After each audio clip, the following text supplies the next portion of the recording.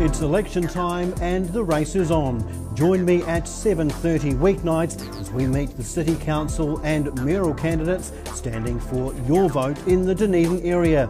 Your city, your voice. That local body 2013 weeknights at 7:30 here on Dunedin Television.